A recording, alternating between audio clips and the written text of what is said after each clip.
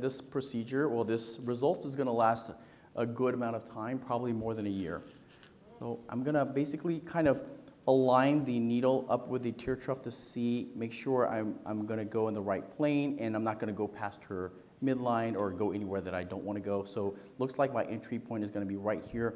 Now, it's important to note the depth of placement.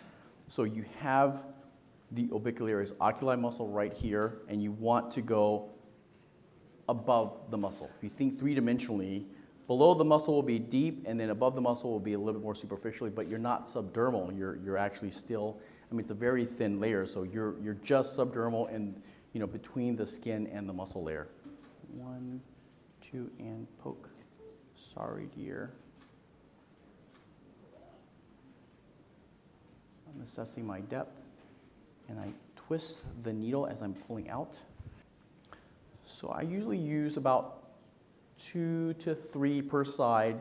I usually put a couple here too, because some people, you do have some hollowness right here.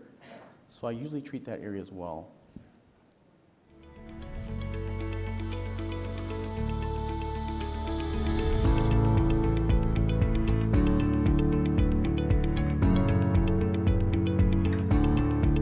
You're done. Yay, first cosmetic procedure ever. So proud of her. Give a good hand for Liz. Thanks for being a model.